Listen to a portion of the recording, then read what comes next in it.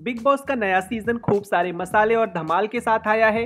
हर contestant show में जमकर धमाल मचा रहा है। हरियाणा की सकीरा कहे जाने वाली गोरी नागोरी हालाँकि हफ़्ते बिग बॉस के घर से इविक्ट हो गई हैं। गोरी नागोरी ने अपने खास अंदाज से दर्शकों के बीच जगह बनाई है। गोरी नागोरी ने बिग बॉस के घर से बाहर आने के बाद तुरंत अपनी शादी की गुड न्यूज़ फैंस को दी है। गोरी नागोरी ने बिग बॉस के बाहर आने के बाद अपने रिश्ते के बारे में खुलासा कर दिया है। बिग बॉस के घर से बाहर आने के बाद गोरी ने टेली चस्का को दिए इंटरव्यू में अपनी शादी और रिश्ते के बारे में बताया। गोरी ने बताया कि वह पिछले कई सालों से सनी चौधरी को डेट कर रही हैं। साथ ही उन्होंने कहा कि जल्द ही लोगों को गुड न्यूज़ भी मिलने वाली है।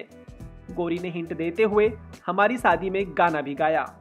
गोरी नागोरी की इन बातों से साफ़ होता है कि वे जल्द ही सनी चौधरी से शादी करने वाली हैं। तो वहीं गोरी ने बिग बॉस के घर से इविक्ट होने के बाद कई लोगों पर भड़ास निकाली।